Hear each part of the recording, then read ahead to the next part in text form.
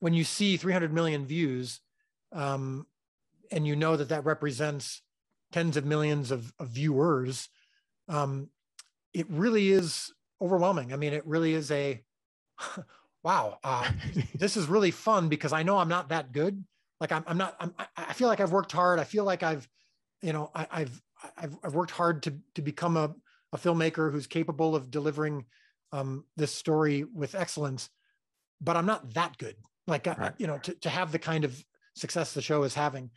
And for me, it's like a healthy reminder. It's like a okay, well, I got to make sure that those viewers, um, you know, that that when I'm when when when we deliver season three, that we're maintaining the spirit of what we started with, which is just wanting to to to to, to uh, plausibly portray the character and intentions of Jesus in the Gospels, and uh, and hopefully those views will continue. But it's for me, it really is just it's just a symbol.